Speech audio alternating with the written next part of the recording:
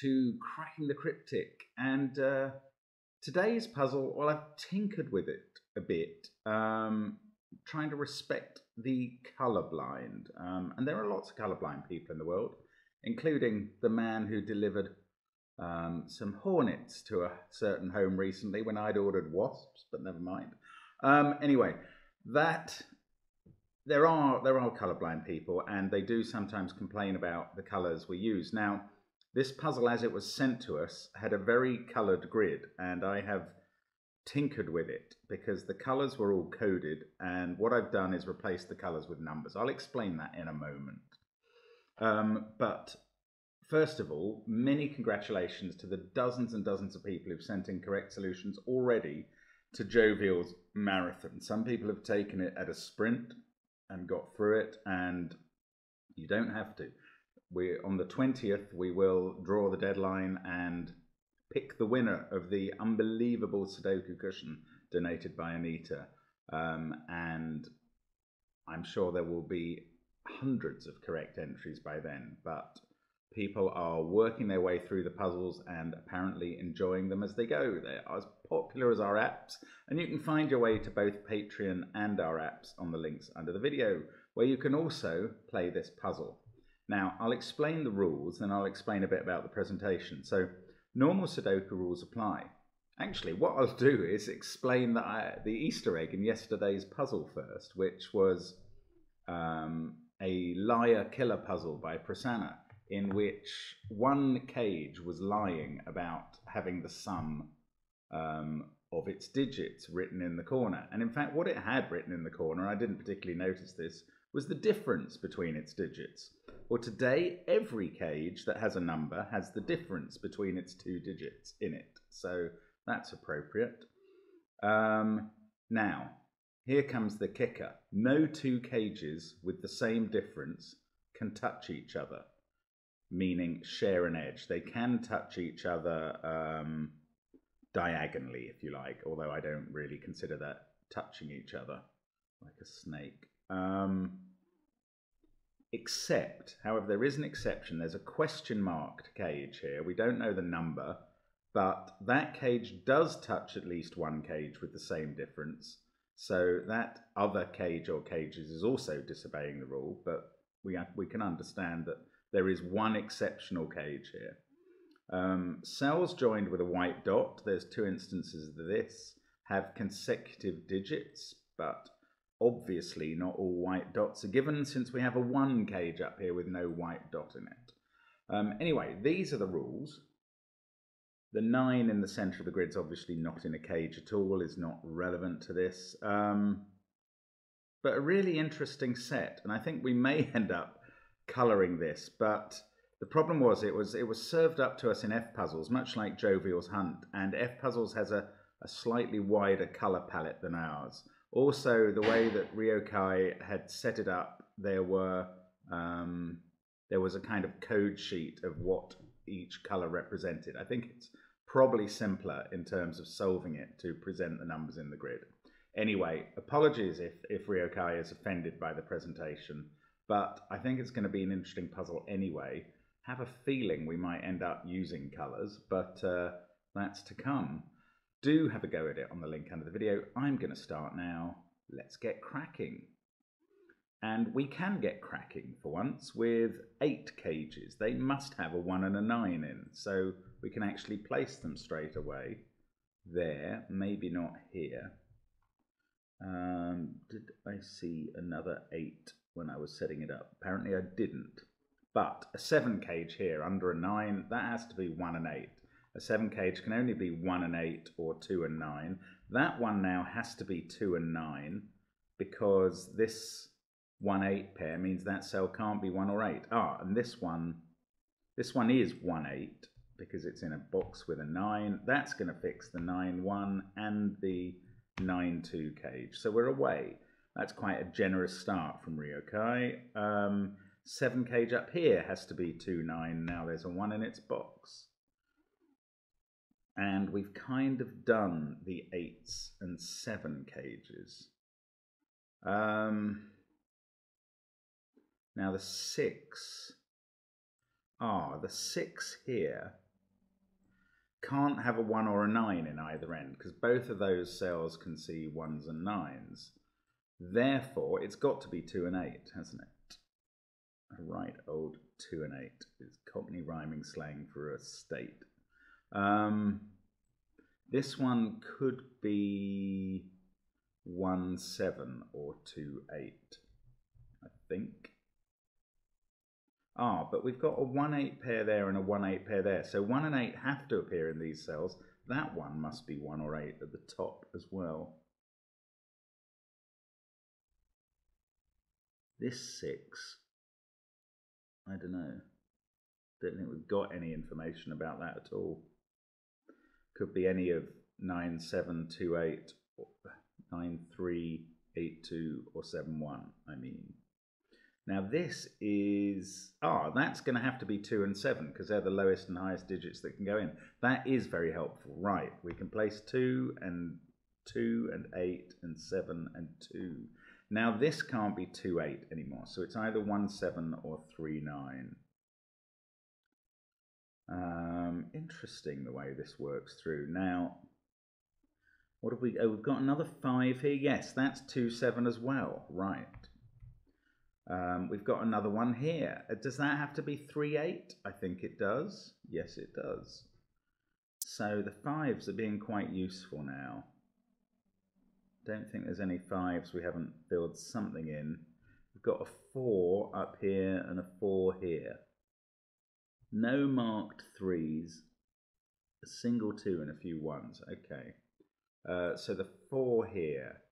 We can't use 9 or 2 no, it's got quite a few possibilities. I suppose it could be one, five, or three, seven, or four, eight. Can't be two, six, or nine, five. Yeah, oddly, it must have the higher digit there. Um, can't resolve those as far as I can see. Now let's not forget the Kropki dots. This one has to be joining digits from 3, 4, 5 and 6. Um, that's got a much wider range. 1, 8 pairs. Ooh, okay, what do we do next? 2, 9, 3, 8, 1. These are the digits we're getting to place. Ah, this 4 cage. Right, it can't be It could be 5 with 1 or 9. It can't be 2, 6. It can't be 3, 7. It can't be 4, 8 because of that 3, 8 pair. So that is a 5. That one we don't know. That's quite weird. Actually, look, we've got 981 triples in rows 4 and 5. So this must be a 981 triple down here. Ah, well then we know with the order of them thanks to the digits in the columns already. Right, well that's good. So then we get 3, 4 or 6 here. That one can't be a 3. And now I, oh look, this is a 2 cage, brilliant. 6 there, that can't be a 6. These are from 3, 4 and 5. Now, what, what I'm thinking is we might have, what I actually thought from the start, and it's just getting stronger, is we might have to start colouring these cages to identify them. Then I'm going to run into the same problem that I was foreseeing originally, which is our limited color palette, which doesn't have nine or ten colors. Um, now, what is this digit? It is three, four, five, or six. Ah, yes, of course. It's like this is like a run of two white Kropki dots where these must all be joined because that is neighboring that or consecutive. Those those are consecutive digits because of the one difference. Those are consecutive digits because of the white dot. So this is a run of three here. Um, but I suppose it could go five. Oh no, look, six. What am I doing? Right. This is I. This includes a four as a pair. This one is also either three, four, or five because six isn't available or two. So that is a three, four, five triple. So four is in the middle. Right. Sorry. Bit slow to see that, but I've got it now. That's a 3-5 pair around it. That can't be 4 anymore. Um, 6, 3, 5, 9, 4. This is 7 or 8. Right, I am going to start colouring, but I have got this problem that my colour palette doesn't have all that many useful colours. I know what I'll do. I will colour cages that have a 1 difference with the number that is effectively 1 on the colour palette, which is red. So let's do it this way. Sorry, this might be a tiny bit laborious to watch. Yellow for blue, uh, yellow for two, I mean. Blue is three, but there aren't any givens. Green is four, and there are quite a few of those. Well, no, there aren't. There's two. Um, purple is five, and I think I'm not going to bother with the higher end ones, or maybe I'll colour them light grey to just get them out of the way because I just don't have the colours to distinguish. So I'll go up to six, which takes me up to orange. And then anything bigger than that, I'm going to colour light grey, just to say I've acknowledged it. Um, that's also light grey. Right, and now, apart from this, let's colour that dark grey. So I'm just noting that it's it's an exceptional cage. But uh, for the main six colours, red, yellow, blue, green, purple, orange, they mustn't touch each other. That's my rule. That's what I'm going to try and follow. And I hope this might help me identify that. So here, look. Yeah, fair enough. This, oh well, could have worked this out anyway. This can't be a 4-6 pair because it would be yellow and touch that yellow. Um, So uh, it's got a 3 in it, but I mean, we knew that because the 3 couldn't be here. So, okay, what numbers are coming in down? Oh no, hang on, there's an 8 there, isn't there? So none of those can be 8, so that's an 8.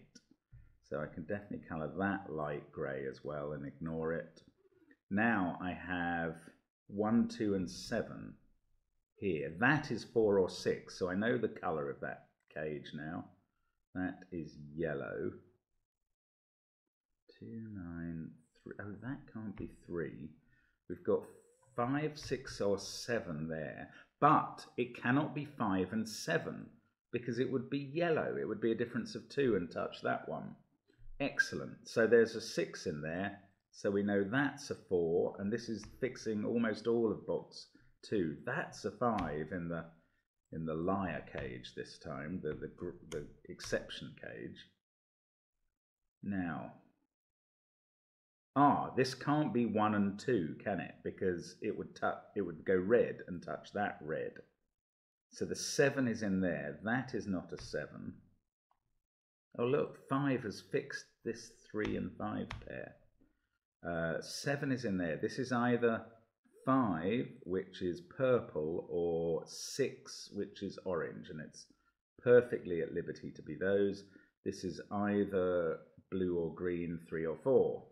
So they're unresolved. Oh no, they are resolved. Look, there's a two there, you dingbat. Right. Um, right, that is purple. This is green.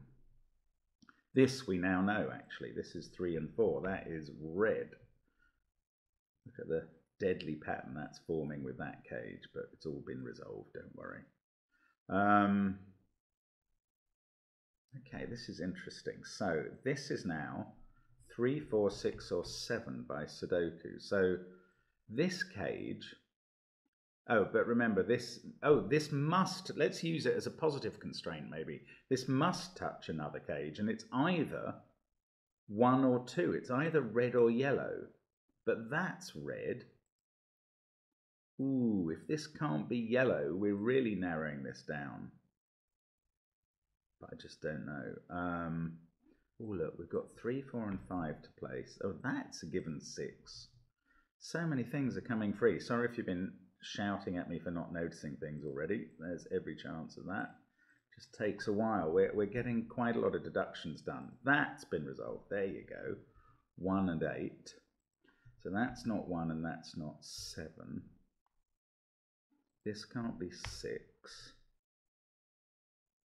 2, 9, 5, 1. We've got 3, 4, 6, 7 and 8 to place along here. Those can't be 8. This can't be 7. That can't be 6.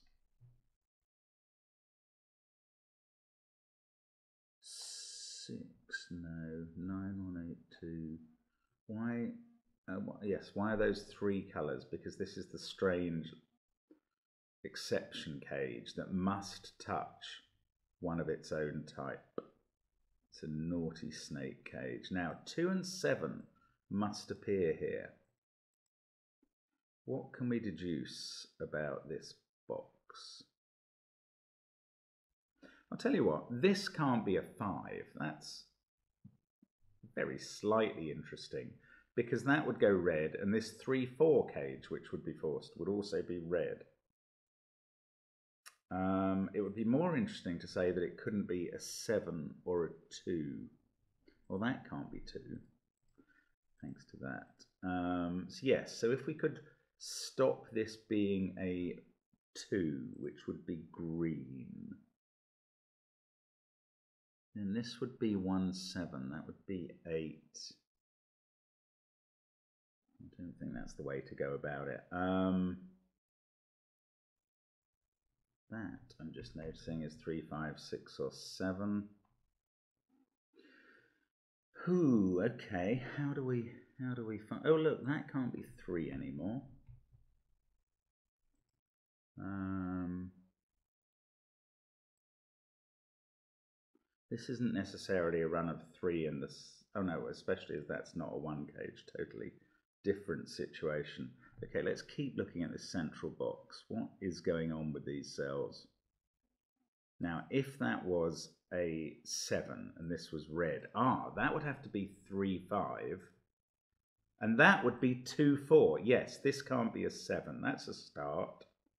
Because if this was 6, 7, with a difference of 1, that would have to be 3, 5. That would leave 2, 4 here. But the 2, 4 would be touching an 8, 6 cage, both with a difference of 2. So that's not 7. So 7's in here. Now, oh, do excuse me for a second. Right, sorry about that. And where were we? Um, looking at these 2s and 7s. So if this was... 7's in here now.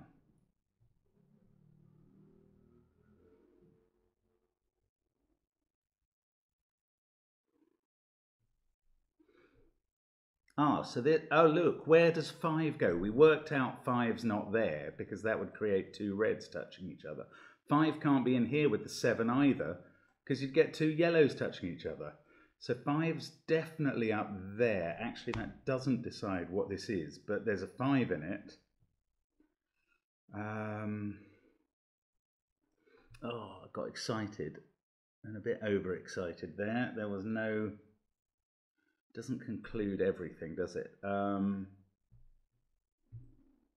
now, can that be a 2-7 cage now? Ah, this can't be 4. Because that would be 6-4 and that would be 3-5. And they'd have the same difference. This is very interesting interaction. Um, so this can't be 4 or 5 or any of the numbers already here or 7. So it's 2 or 3, I think.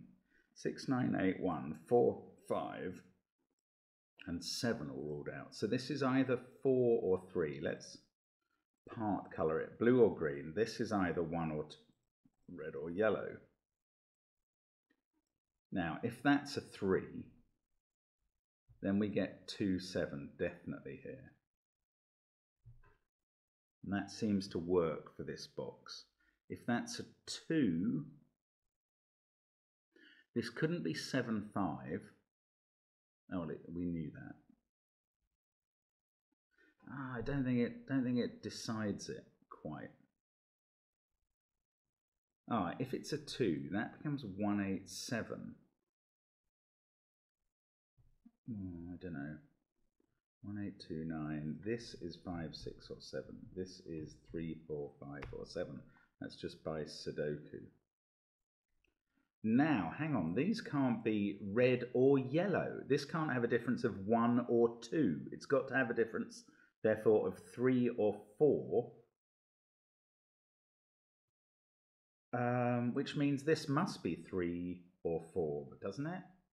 Yeah, that can't be low. Yes, it does. This can't be five. So we've got some traction there now. Ah, that's a 3, 4, 6, 7 quadruple in the cage. So this pair is 5 and 9. Good grief.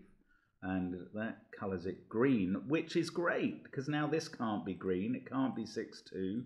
The colours have helped. That's 6, 3. We take 3 out of there. This colour is red. What we have in here now is 2 and 7, which we can place. They are purple like all the other two and sevens. Uh, that's fixed this as a six. Oh, that doesn't. This is three or four. No, two or three of difference. Ah, well, it can't be two. Perfect. It's three, therefore. Can't go yellow because it would be touching that yellow. So that's a three. This is now a 4 7, another blue cage. We're suddenly getting loads of blue. 4 and 7 come out of these cells. So they're a 3, 6, 8 triple. That makes this a 7. So that cage is done. That's fixing that one. This can't be 3. Now, that's on the crop key dot. Not helpful. Oh, look, that can't be 9 either. So the 9 in this row is now here. 2 and 9 down here. This is a difference of 1, so that's not a 6. Oh, it's also, sorry, I've got a 9 there. So this is 2, 3, 6, 8. We know that colour now is yellow. Um, this is a 9. So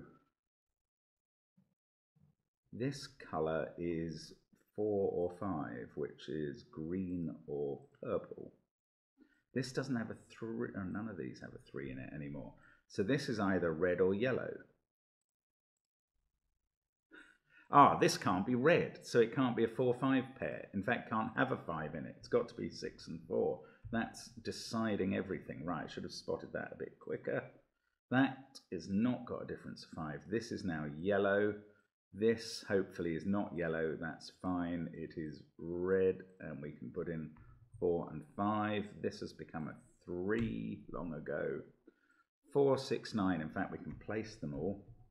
We might even be able to finish off all the Sudoku now. Four and eight come out of there. Um, oh, we've got a one, three pair. Five, seven, eight, triple. What have we got? We're still going to have to do something with this cage, I suppose. That can't be 6395. Yes, that's been resolved. 4, 5, 4, 7. This is now not 7, 1. Right, that's fine. 1 there. That fixes this 4 cage.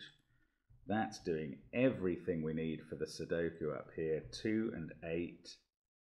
7 and 6. 3 and 8. Just box 2 to go. 5, 6 pair there, which is perfect for red. Three is here. Seven is here. Four is here. Oh, we've done the colours. Yeah, Sven's made a couple of changes, by the way, to the um, settings. Let's just have a look at those. You've got this peaking Sven, who is the dude who comes up in the top left corner of the uh, grid when you start off the app. Um, and you can hide that if you don't like it. And this was a check on finish that came on, which is probably pretty good for me because, as Kevin Slingsby will tell you, I often forget to press the check button while I'm still filming. Um, anyway, four and five, that has become red, although, of course, it was the cage that is allowed to touch other reds.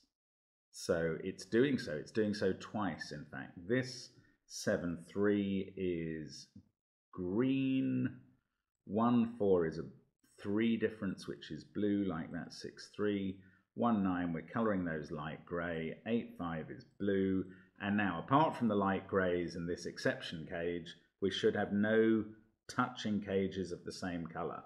And uh, I realize that may not be simple for the colorblind to tell, but I can tell that it is right. And that's a really lovely puzzle. I, I really don't think we've spoilt the presentation of it. And frankly, we couldn't have done it as as it was sent to us in our own software. So um, thank you so much, Riokaii, for sending that. Uh, sorry if I'm pronouncing your uh, pseudonym wrongly, but that really is an elegant puzzle, and I've enjoyed that a lot. Uh, do have a go at it. Well, sorry, you you may. What I mean is, I hope you had a go at it. I hope you enjoyed it, and uh, we shall see you again tomorrow. Um, you will already know if the two teams I'm supporting today, Denmark and England, have done well at the Euros. I don't, as I'm filming this. I'll be finding out later today. Anyway, bye for now. Good to see you.